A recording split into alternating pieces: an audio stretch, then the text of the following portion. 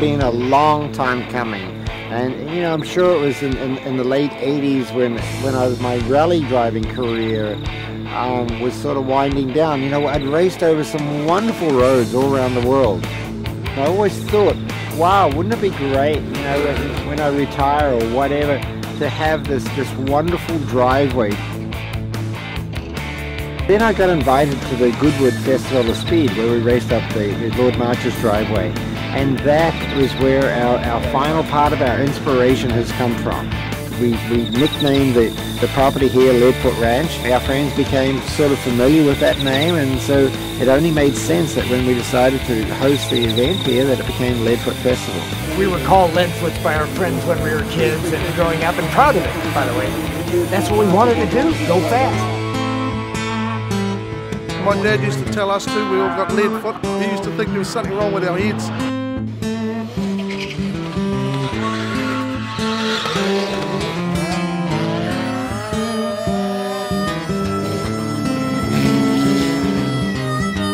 I discovered about my love for speed when I was very young. I was about four years old and driving a go-kart. And uh, I understood that it was a passion for myself.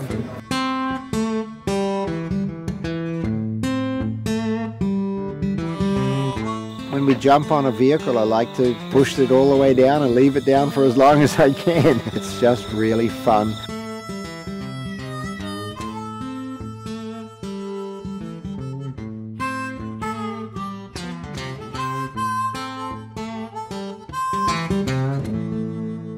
Uh, just arrived at the Leadfoot Ranch. Welcome along to the inaugural Leadfoot Festival. The Leadfoot Festival of Speed, a recognition of top drivers and cars. It's a wonderful thing about this event, which is uh, being modelled by Rod on the Goodwood Festival of Speed, that you can wander around and look at cars of that calibre. This wonderful property. It's the front drive of Rod Millen's house. It's not just about the cars, but also about the bikes and the history there. It's remarkable.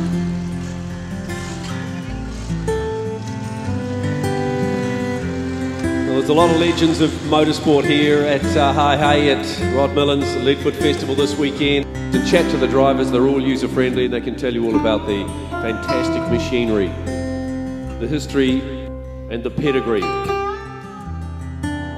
And uh, there's just so many things to see and do here.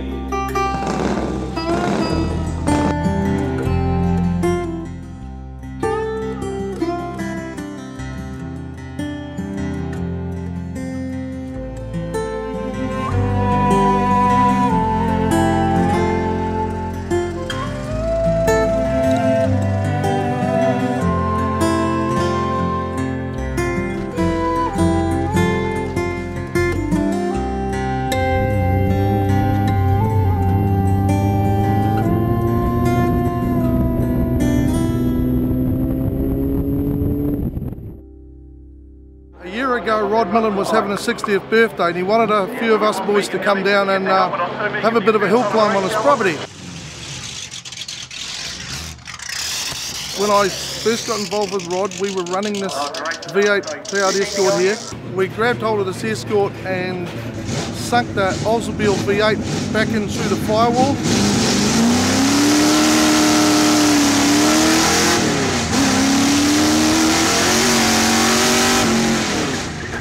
Motors were designed in like the 60s, so it's nice and light. The motor's actually no heavier than what a 2 litre motor was.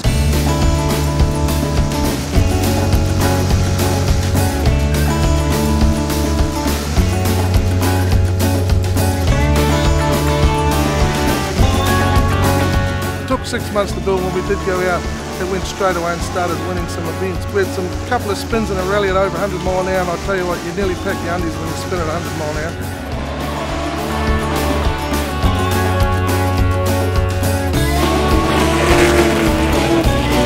Car's well known. We used to see people clapping as we come sideways into the corner and then you'd see them start running when we got close because they knew what was going to come out the rear end. Gravel like this.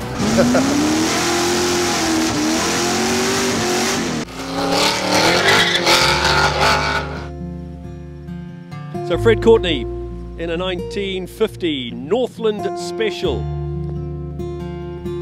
This car actually won the first New Zealand Grand Prix at Ohakea in 1950.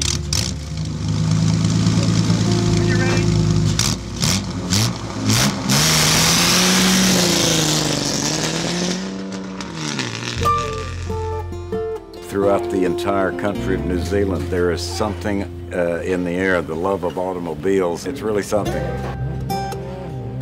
All the vehicles that we have here today, you know, you've just about got every form of motorsport covered, from ATVs through to stock cars.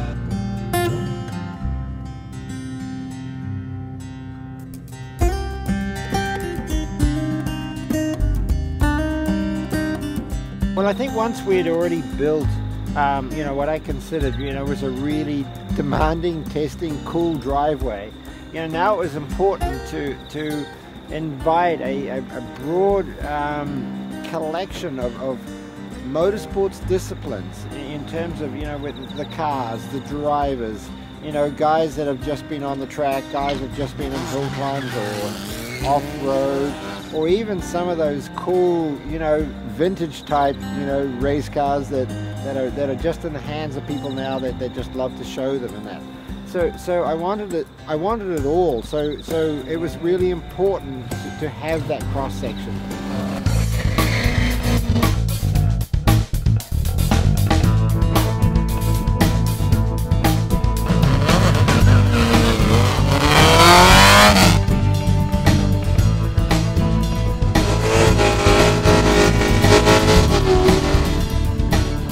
Big Audi Quattro that Andrew's built.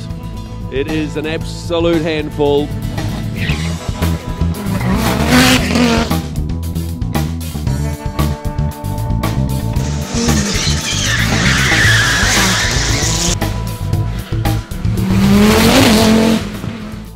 Yeah, here at Leadfoot, uh, someone said, well, do you have a favorite? Well, as the old story goes, one's too many and a hundred ain't enough.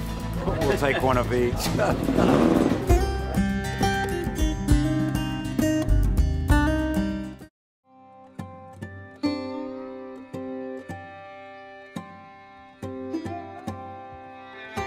This is the 1906 Grand Prix Darracq, which was run at Le Mans in 1906. Then it went to the United States and won the Vanderbilt Cup. It was the first time ever in that particular event that a checkered flag was used to finish a motor race. We're talking 1906 here. That's a fabulous car, this one.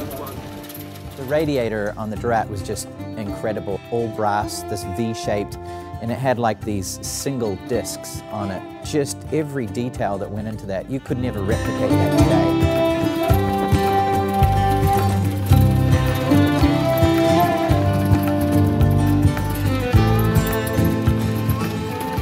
Lady driving it, she was spectacular. She would sit at the start line, she'd apologize to the guy behind her, and she'd play with a retard, and all the smoke would belch in his face. It was spectacular, something you had to be there to see.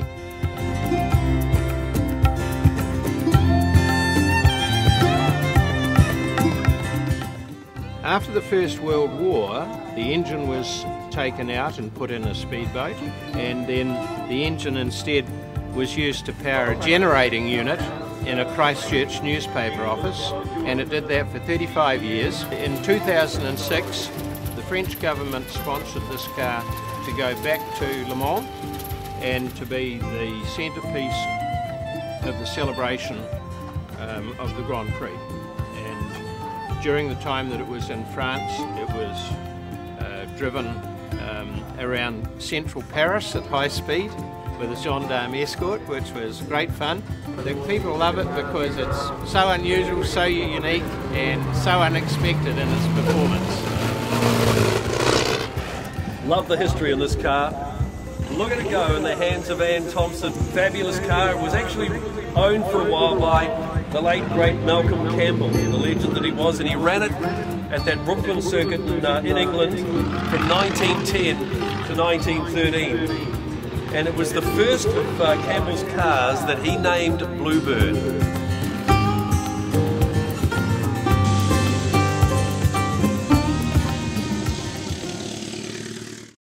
For those of you who have just made it to uh, Leadfoot today, welcome along. It's going to be a wonderful day, culminating in a top 10 shootout this afternoon.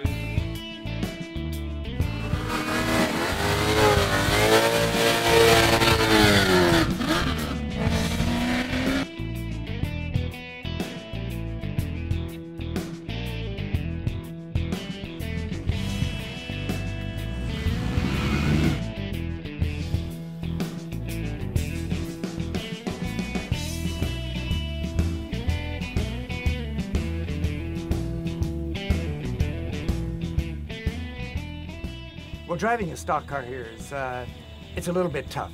It's very tight corners here. It's a big, heavy car. But, uh, you know, it doesn't diminish the amount of fun I'm having. What you're looking for here is something that sounds great, looks great, and uh, I go by slow enough that everybody can get a really good look at it.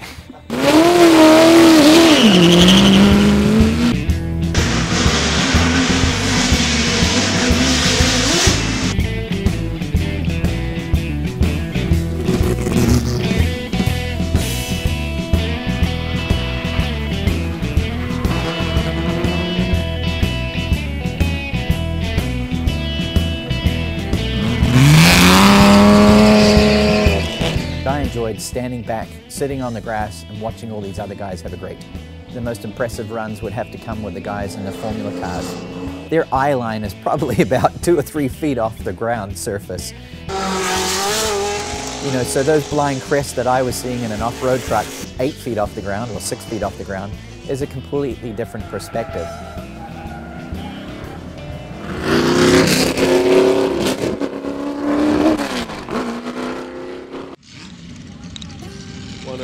Whole bunch of classics that are here this weekend. A 1919 Lancia Kappa Sport. This car was restored in 2001.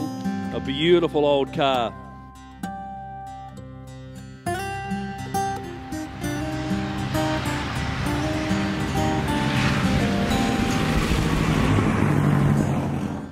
Uh, the car we brought here is a car that we actually ran through the 60s and 70s. It's the Rat Trap Fuel Altered.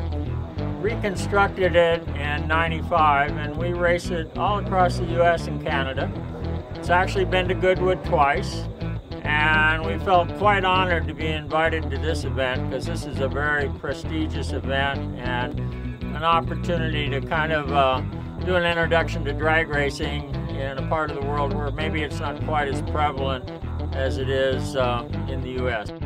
In our anxiousness to introduce drag racing, we were going to do a burnout. Unfortunately, the little front wheels just couldn't make the turn and it wound up over the grass and ultimately into a stream on its wheels.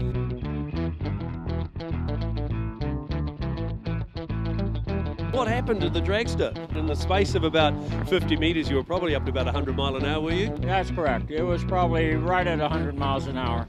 And then suddenly the car left the track over the bank. It went over one time and landed on its wheels. Safety crew was right there and uh, able to get out, and everything was fine.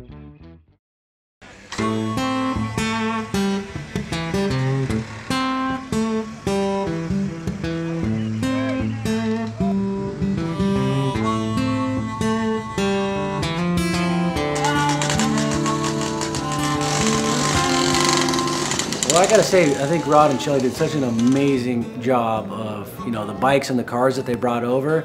It's unbelievable. There's, there's motorcycles here that you'd be lucky to see one of them, you know, in a museum somewhere, and there's, there's 20 of them down there. So, yeah, it's, I would say it's probably like the ultimate garage that we're sitting above right now.